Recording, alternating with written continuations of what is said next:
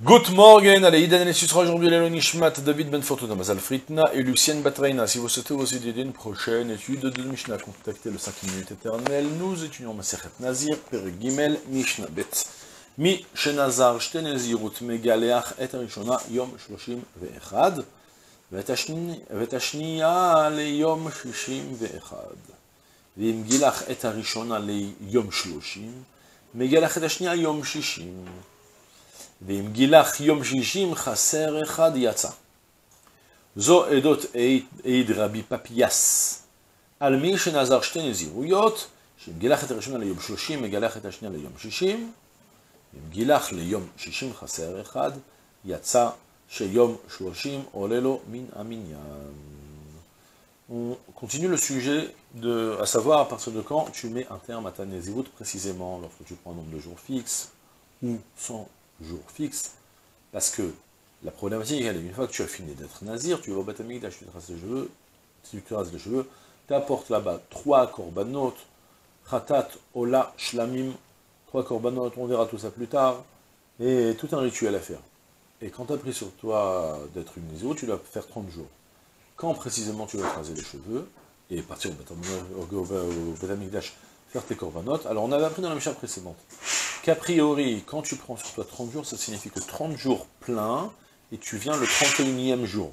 Mais a posteriori, le 30e jour marche. Parce que tu n'as pas fixé 30 jours, mais c'est toi qui fixes 30 jours, tu es, obligé de, te plier à 30 jours pleins, et korbanot le 31e jour uniquement. Maintenant, on s'intéresse à une personne qui a pris sur lui Mishenazar Shteneziruyot il a pris sur lui de, faire deux Nézirut. Ça signifie que je démarre maintenant, dès maintenant, une première Nézirut, je finis, je vais au Batamikdash, j'apporte mes, korbanot, une fois que je sors du Batamikdash, je dois maintenant démarrer une nouvelle Nézirut. J'ai pris sur ma deux Néziruyot, et je continue avec ans qu'on a pris, que on avait fait le compte comme ça, c'est important de se retrouver. S'il a pris sur lui un dimanche, Yom Rishon, alors le 30e jour va tomber un lundi, parce qu'il y avait 7, jusqu'au Shabbat, 7 du Yom Rishon au Shabbat, 7 du Yom Shabbat, donc c'est 28, le dimanche va être le 29e jour, et le lundi va être le 30e jour. A priori, on veut, on attend de toi que tu prennes, pas le lundi, mais le mardi. Donc ça, ça va faire 30 jours pleins, et t'apportes les corbanotes le 31e jour. Et selon ce principe, tu as pris sur toi deux Nézirut, alors, alors de nouveau, tu prends sur toi deux Nézirut, donc le mardi, tu apporteras tes corbanotes, Dès que tu as fini d'apporter Korbanot, tu as fini ta première Nézirut, tu démarres tout de suite ta deuxième Nézirut. Donc c'est déjà le premier jour qui démarre un mardi. Selon le même principe, du mardi jusqu'au lundi, ça va faire 28. Le mardi va être le 29. Le mercredi, donc qui va être le 60e jour, va être le, 30e jour, mais on veut que tu apportes le Korban le jeudi, le 61e jour. Ça, c'est en théorie. Si tu veux, en fait, en deux mots, je vais, vous faire d'abord tout de la Mishnah avec la problématique, après on va, lire, ça dans les mots, ça ira plus vite. Soit, en fait, donc on a retenu, si je prends sur moi un dimanche, 31e jour va tomber nécessairement un mardi. Ouais, 4 semaines pleines, plus dimanche, lundi, et puis le mardi, c'est le 31e jour. Et après, quand je vais démarrer le, mardi, donc maintenant ça va, ça va démarrer la deuxième des jours, ça va démarrer le mardi, donc il va y avoir jusqu'au mardi jusqu'au lundi 28, mardi 29, mercredi 30 et jeudi 31. Ça va faire, en fait, depuis le Yom Rishon jusqu'au là-bas, ça va faire 61 jours. En théorie, c'est ce qu'on veut que tu fasses. Mais sache qu'en réalité, a posteriori, tu peux réduire même de, de 12 jours. Comment tu fais ça? Très simple. Tout d'abord, a priori, on a dit que, donc en théorie, tu commences, tu fais ta zéro le dimanche, tu devras partir deux fois au Beth une fois ça va tomber un mardi, une deuxième fois ça va tomber un jeudi. C'est comme ça que ça doit être a priori. A posteriori, si tu as tout devancé d'un jour, ça marche.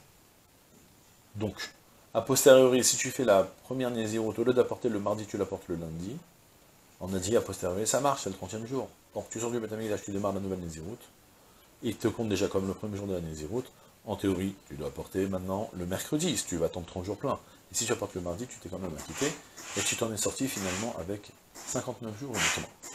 Ce que la Michal m'a en fait, on a tout compris, et après la Michal va conclure avec un témoignage de quelqu'un qui a dit que réellement ça se passe comme ça, parce qu'on peut dire Mixatayom Kekulo doublement. Michel Nazar Shten celui qui a fait sur lui de prendre sur lui deux, deux Megalach et Rishona Yom. Tu feras ta tu, tu raseras ta première, tu raseras ta première c'est-à-dire tu apporteras tes corbanotes et tu raseras les jours de au 31e jour, donc tu as commencé dimanche, ça sera un mardi.